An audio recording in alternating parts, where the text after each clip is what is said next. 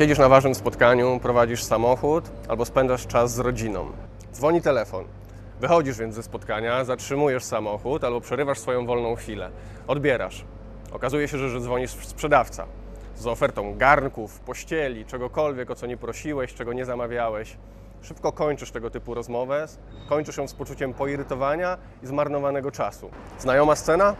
Dla mnie jak najbardziej, zapewne dla wielu z Was także.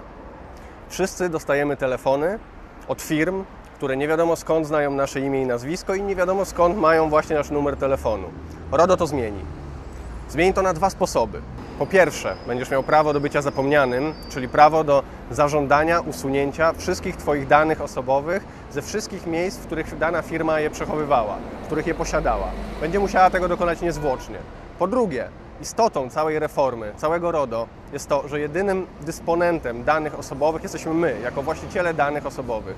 I tylko my możemy robić z tymi danymi co chcemy. Żadna inna firma bez naszej zgody nie będzie miała prawa ani tych danych osobowych sprzedać bez uprzedniego zapytania nas o zgodę. Wszyscy zatem odczujemy RODO, chociażby w dużo mniejszej liczbie telefonów, które marnują nasz czas.